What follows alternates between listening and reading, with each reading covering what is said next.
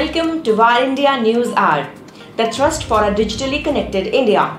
It is absolutely true that technology will be the primary driver of investments worldwide over the next five years and more. India is now aiming to evolve into a $5 trillion economy, and technology driven startups are going to play a crucial role in achieving this goal. With over half a billion internet subscribers, India, one of the world's largest and fastest growing markets for digital customers, is at the cusp of a digital revolution. When we see the data points, at the state level, Maharashtra has the highest penetration of active internet users at 61%, followed by Goa at 60% and Kerala at 59%.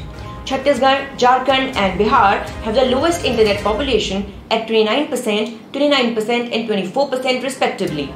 There is emphasis on digital technologies and startups cutting across sectors from agriculture and education to post offices, banking and more. The number of active internet users in India is expected to increase by 45% in the next 5 years and touch 900 million by 2025. This increase will be driven by higher adoption in rural India, which has clocked a 13% growth to 299 million internet users over the past year or 31% of India's rural population, a report said. By 2025, there will be more internet users in rural India than in urban India. Given this, the digital ecosystem will need to evolve to address the specific needs of this emerging demography. Cybersecurity, building resilient and adaptable supply chains, various forms of data protection and sovereignty related issues will emerge as big drivers for technology spend globally. As digital capabilities evolve and connectivity becomes omnipresent, a radical transformation of India's economy through accelerated adoption and usage of our internet is imminent. Internet connectivity can undoubtedly empower communities and has impacted every single home in small towns and villages across the nation, steadily bringing next generation digital services such as e-governance, agrotech, fintech, telemedicine and e-education. It is safe to say that the vision of smart villages, modern agricultural interventions, efficient healthcare systems and quality education will soon become a reality with internet connectivity. Given this backdrop, connectivity is no longer just a means to stay in touch with your loved ones, but a conduit to boosting development and ensuring social impact. With rising internet penetration and exponential data uptake, the Indian government and telecom sector are focused on driving digitalization and accelerating technology adoption across the country. Let's wait and watch for the most hyped 5G wireless technology, which is expected to enable a new kind of network that is designed to connect virtually everyone and everything together, including machines, objects, and devices. Let's look into today's headlines in VAR India. Nirmala Sitharaman to travel to US on official visit. Union Minister of Finance and Corporate Affairs Nirmala Sitharaman will be traveling to the USA on an official visit. Sitharaman will be attending the spring meetings of the International Monetary Fund and World Bank, the G20 Finance Ministers meeting and Central Bank Governor meeting. She will be taking part in bilateral meetings with several countries including Indonesia, South Korea, Sri Lanka and South Africa. Apart from the official meetings, Sitharaman will also attend an event at the Atlantic Council, a prominent think tank based in Washington, D.C., and will also interact with the faculty and students at Stanford University.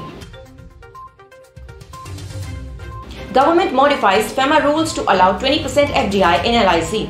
The government has amended the rules of the Foreign Exchange Management Act, paving the way for up to 20% foreign direct investment in the insurance giant LIC. The government is planning to dilute its stake in LIC through the initial public offering. FEMA notification was required to initiate the provisions DPIIT issued, including FDI policy changes that will allow large foreign portfolio investors to subscribe to shares of LIC. Last month, SEBI gave approval to the draft papers and the insurer is in the process of filing a request for proposal with changes. RBI pushes for UPI-based cash withdrawals instead of debit card. The Reserve Bank of India's push to enable unified payments interface-backed cash withdrawals from ATMs is likely to cause a severe dent in the usage of debit cards. Cash withdrawals at ATMs are the chief means of usage for a majority of debit cards issued in India, with merchant payments using debit cards starting to plateau and even seeing volumes falling on a year-on-year -year basis. According to a report, UPI accounts for nearly three-fourths of all transaction volumes below rupees 500. China installs mobile towers very close to Indian territory, says official. Councillor of Chushul region, Konchok Stanzin, has claimed that China has now installed mobile towers near its side of the border. Stanzin flagged the issue and claimed that three mobile towers have been installed near China's hot spring, very close to the Indian territory. The councillor pointed out that the towers could be used to observe our territory and communicate details. He also claimed that China is doing rapid infrastructure development on its side of the border. Technology to push investments globally for many more years, says TCS's CEO. Rajesh Gopinathan, Chief Executive Officer of Tata Consultancy Services, said that technology will be the primary driver of investments worldwide over the next five years and more. He expects volatility due to geopolitical conflicts and possible decoupling of the global economy to stoke demand for specific technologies.